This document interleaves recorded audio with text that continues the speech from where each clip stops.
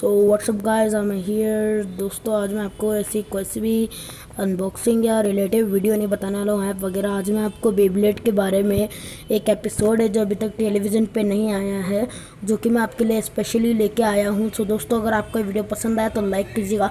दोस्तों, आपने पिछले सीरीज़ में देखा कि शू और लुई के बैटल में लुई जीत जाता है, हमेशा की तरह शू हार जाता है। और उसके बाद फाइनल्स में जा, जाता है वॉल्ट और सन जैक द सनराइज़ को हरा के, वो वो वर्ल्ड फाइनल्स में जाके लुई सीरो से लड़ता है। उसके बाद लुई फिर से जीत जाता है एक दरार के लिए। सो दोस्तों, इसके आगे का एपिसोड मैं आपको दिखा दूँगा और दोस्तों, इस एपिसोड का नाम है बेबलेट बर्स्ट जियो डी या फिर आप इसे जियो बेबलेट बस्ट एवोल्यूशन भी कह सकते हैं। सो दोस्तों, ज़्यादा वक्त ना लेते हुए हम इस वीडियो को आगे बढ़ाते हैं। तो चलिए शुरू करते हैं। तो दोस्तों, कुछ नहीं होता है। वॉल्ट अपने प्लेन में, अपने बैटरी ऐप का सपने में कुछ अलग तरीके से देखता है। उसके बाद वेल्ट्रियक के साथ वो निकल पड़ता है। जब वेल्ट्रियक को वो आसमान में देखता है, उसी की तरह वो सोचता है कि मुझे भी ऐसा बिबलेट चाहिए।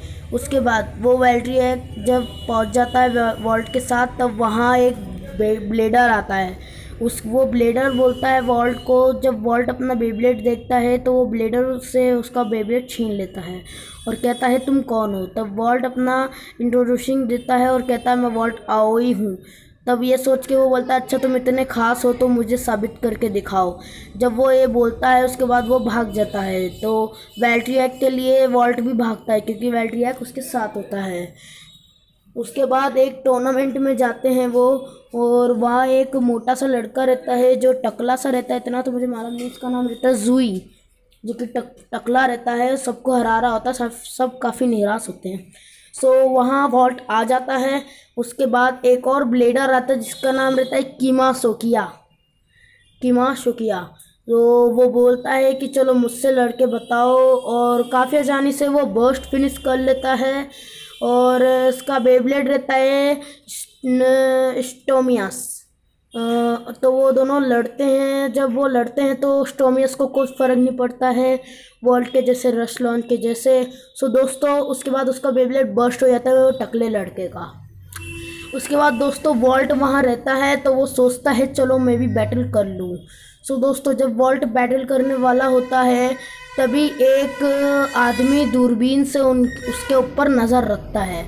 और और इतनी देर तक नज़र रखने के बाद वो सोचता है, चलो देख ही लूँ इसका बैटल अब दोस्तों वेल्ट्रियक हमेशा की तरह अपने नए मूव फिनिशिंग के साथ रश लॉन्च करना चाहता है। अब दोस्तों, जब वो रश लॉन्च कर देता है तो स्टोमियस को कोई फ़र्क नहीं पड़ता है। और इसी के साथ स्टोमियस वेल्ट्रियक को रिंग आउट फिनिश जैसा कुछ हरा देता है। सो दोस्तों, उसके बाद रिंग आउट फिनिश जैसी कर देता है वो तो वर्ल्ड काफ़ी निराश हो जाता है। और कहता है बर्स्ट फिनिश उसके अगले राउंड में हो जाती है। उसके बाद वॉल्ट कहता है कि, मेरा बेबलेट इतना तो वैसा नहीं था, पर दोस्तों, निराश के साथ साथ एक और घटना घटती है। वॉल्ट का बेबलेट विट्री बैटरी के स्क्रीन के ऊपर क्रैक हो जाता है। एक चश्मे वाला आदमी उससे ले लेता है उसका बेबलेट और कहता है कि, मैं इसे रिपेयर कर दूँगा।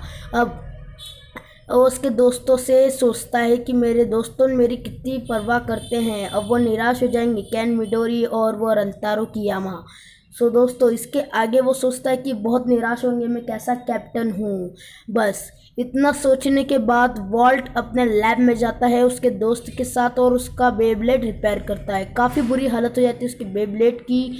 सो दोस्तों, बैटरी एक जैसा उसे वॉल्ट प्लेन में से देखता है वेल्ट्रियक को बिल्कुल वैसा बना देता है वेल्ट्रियक को। और जब उसका नया बेबलेट तैयार हो जाता है तो उसका नाम होता है विट्री वेल्ट्रियक वी टू। या फिर वी टू भी बोल सकता है इसे। तो वो उस तो वॉल्ट, उस लड़के की मासोकिया के पास जाके कहता है कि मुझसे बैटल करो मेरे नए बेबलेट के साथ। कीमा सोकिया ये देख के बोलता है, मुझे इससे कोई फ़र्क नहीं पड़ता।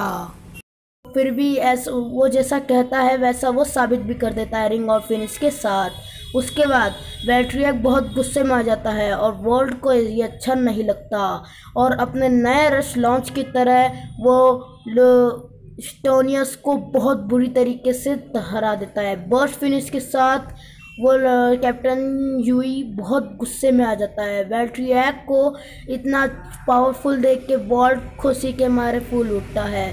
सो उसके बाद उसका बेबलेट काफ़ी अच्छा हो जाता है। उसके बाद वो उसे बहुत बुरी तरीके से हरा देता है। फिर जब वॉल्ट जीत जाता है तो बहुत ज़्यादा खुश हो जाता है।